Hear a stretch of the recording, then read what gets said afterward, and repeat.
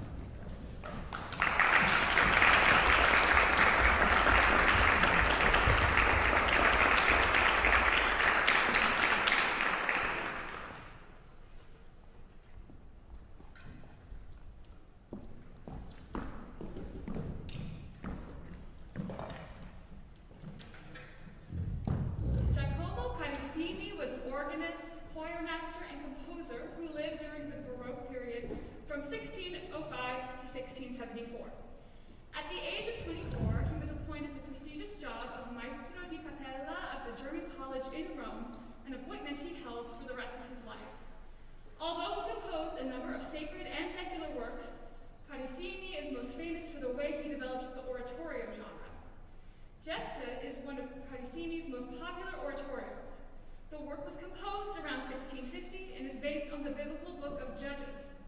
The work is regarded as the most popular Latin oratorio of the Baroque period. The choral movement, Plorate Filii Israel, is an expressive lament that ends the oratorio. Listen for the sighing figures that pass throughout each section of the ensemble during this beautiful and emotional piece.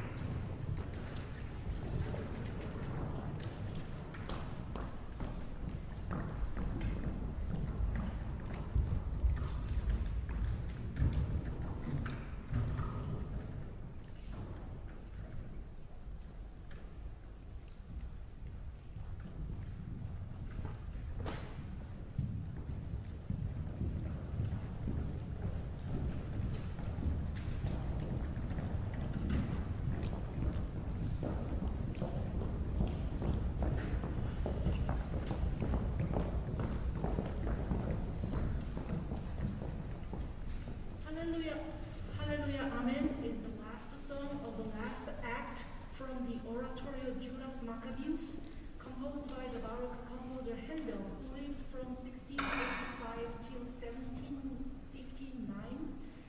Most of Handel's 21 oratorios were composed late in his life and were written in English in order to attract the middle class in England. His English oratorios, which were for theaters instead of for churches, became as famous as his operas. We know Messiah as the most famous of his oratorios, but Judas Maccabeus was the most famous oratorio in his lifetime. In this chorus, you can hear his expressive style, simpler and less contrapuntal than Bach's, alternating passages in open fugal texture with solid blocks of harmony, setting a melodic line and sustained notes against another line in quicker rhythm. Everything supports the voices and the orchestra doubles the vocal parts, which makes his choral music both the pleasure to sing and listen to, which is another reason it became immensely popular. So enjoy.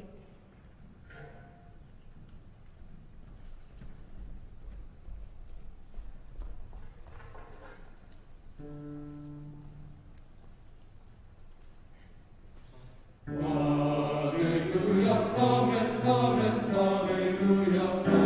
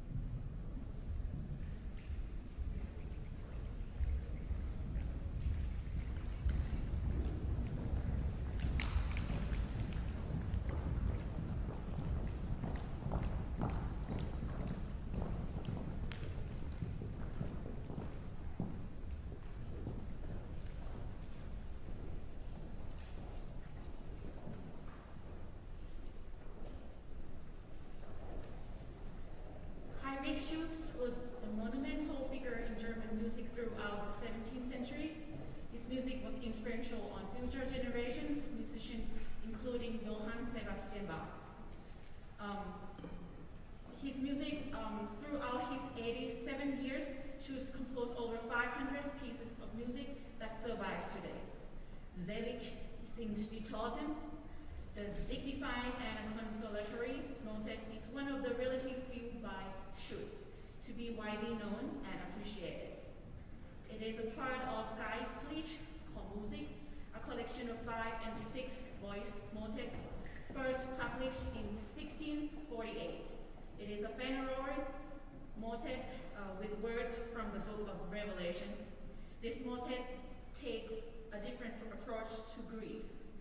Blessed are the dead, for their works shall live after them. We will hear the six voice parts, trading off proclamations as if each representing different choirs. This motet contains with both the Renaissance and Baroque style, which represents a turning away from the Venetian extravagance of Schütz's earlier work.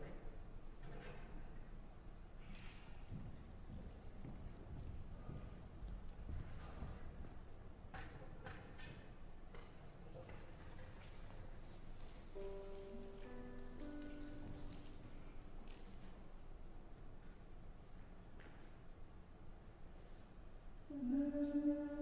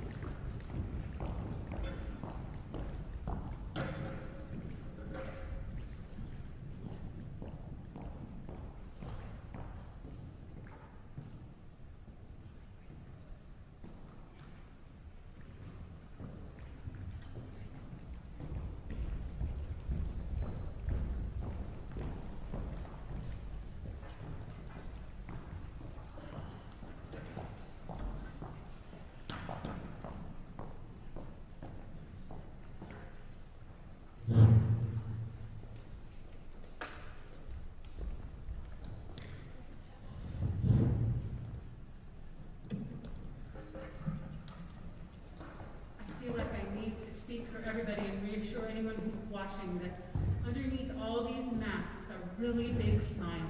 We're having so much fun. We are having so much fun with this music. Little is known of the family origins of Dietrich Buxtehude, who lived from approximately 1637 to 1707. He claimed to have been born in Denmark, but lived and worked most of his life as a church musician in northern Germany. Mainly known as a virtuoso organist, he was a predecessor of J.S. Bach and Handel, both of whom visited his church in Lübeck to hear his Abendmusik concerts during Advent. It's fabled that a 20-year-old Johann Sebastian Bach made the arduous, almost 250-mile trek by foot just to hear Buxtehude's music. Tonight we'll perform for you his Jesu meine Freude, a cantata consisting of two violins and basso continuo. Listen for the characteristic features of a cantata of this time period, an instrumental prelude followed by sections of music scored for various solos and trios with frequent and intermittent instrumental ritornellos.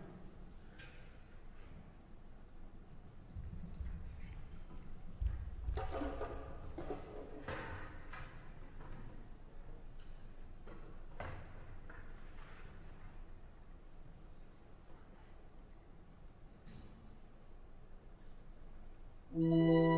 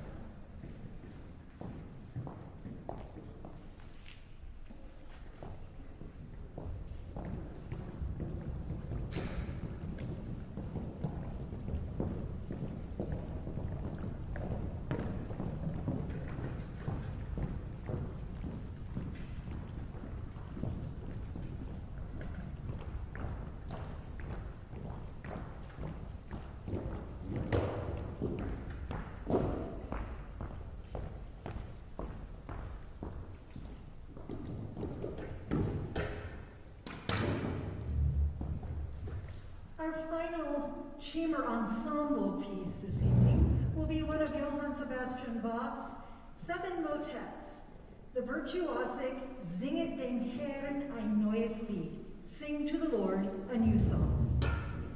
The first performance of this motet was in Leipzig in 1727. Bach's motets were likely written for special occasions such as high feast days and funerals for nobility. In this masterpiece for double choir and continuo, Bach showcases the beauty of the human voice while pushing the limits of the human voice, perhaps unlike any other choral work. In 1789, during his visit to Leipzig, Mozart is said to have heard the Thomaskirche choir perform Singet dem Herrn, and he was enthralled by the work and requested a copy of the score. His handwritten note that a full orchestra had to be added attests perhaps to Mozart's impression of the extreme difficulty of this, the most splendid of Bach's motets. Singet dem Herrn ein neues Lied.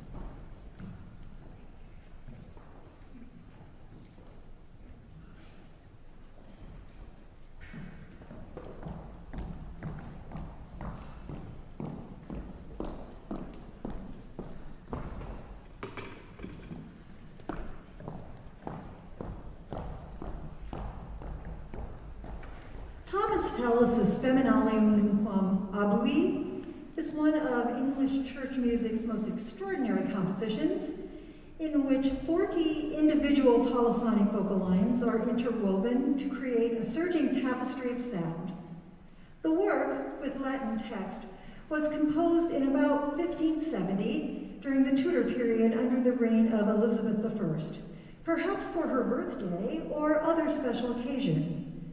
A later version with newly added English text was performed at the investiture of, in 1610 of Prince Henry, elder brother of Charles I. Tallis takes us on a journey for the senses, as the 40 voices create an aural kaleidoscope through sounds entering and leaving throughout the piece. The work is set up with eight individual choirs, each comprised of five voices. We have chosen to set our choirs up in the audience in a circular fashion. And we will be encompassing the entire hall so that we can highlight the textural aspects of this composition, with choirs one through four being up in the balcony, and then choirs five through eight in the lower seated section. You will hear how Tallis begins with choir one up here to my left, singing the text, Spem in alium nunquam abui, and then he adds choirs with that same text as we work our way somewhat circularly in a pattern throughout the room. One, two, three, four, as the choirs five through eight begin their entrances, we come around this direction. Choirs one through four fade out.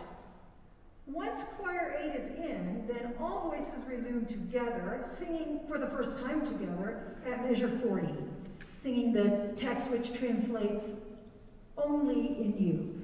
Now, from this point, Tallis reverses the entrances, beginning with choir 8, and now the choirs are added in reverse order from 8 to 1 with the initial voices once again dropping out as new voices enter.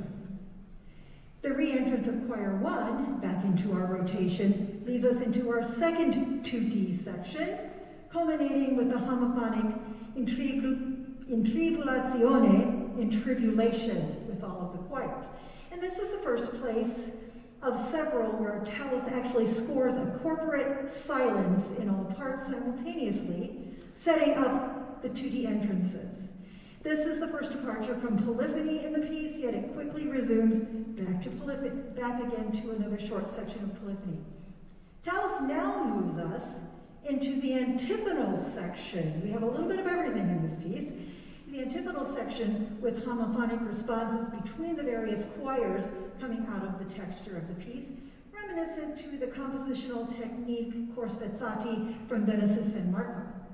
The piece then continues to move forward as choirs are added or removed, leading to two spectacular moments. Tallis's two homophonic tutti settings of the words respice, which means take heed or listen. The first one is in a, in a sudden and unexpected shift to A major, and then the later one emerging in G major. There are silences in all voices preceding both of these. The piece then continues to push forward imitatively to the end, fluctuating between C and G major, and finally ending on G major. Spem in alium.